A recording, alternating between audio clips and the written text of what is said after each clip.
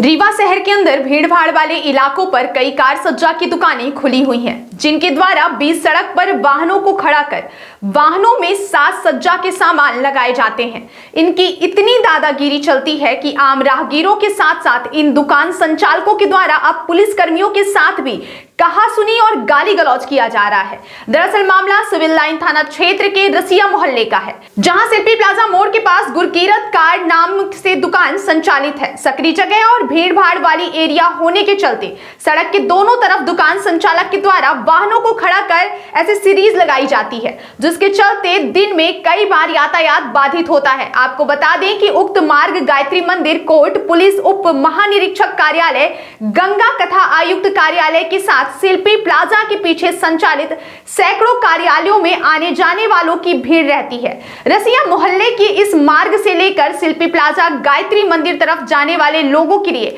उक्त दुकान के साथ अन्य दुकानदारों द्वारा सड़कों में वाहनों को खड़ा किया जाता है, जो यातायात पुलिस के लिए परेशानी का सबब बने रहता है। मामला गत दिवस का है, जब जाम से परेशान लोगों ने यातायात थाने में पदस्थ इंस्पेक्टर प्रमोद पांडे को जानकारी दी। तो वह मौके पर पहुँचे और दुकान संचालक को समझाइश दी। लेकिन दुकान संचालक अपनी गलती मानने की बजाय पुलिस अधिकारी से ही गाली गुप्ता करते हुए सब इंस्पेक्टर को ही जान से मारने की धमकी दे डाली। दुकान संचालक कीरत कार के मालिक बलजीत सिंह उर्फ़ मांगू और उसके दो अन्य साथी पहुँचे और सब इंस्पेक्टर के ऊपर बरस पड़े और धमकी दे डाली। घटना की जानकारी यातायात अधिकारी के द्वारा विभाग को दी गई, जिसके बाद मौके पर पहुँचे पुलिस बल ने समझाइश दी और सब इंस्पेक्टर की शिकायत पर दुकान संचालक बलजीत सिंह उर्फ़ मांगू, कुड़ाल, आहूजा और एक अन्य के खिलाफ शासकीय कार्य में बाधा उत्पन्न करने अधिकारियों को जान से मारने की धमकी देने का मामला दर्ज कर लिया है। आपको बता दें कि कोर्ट के पीछे पीछे गायत्री मंदिर रोड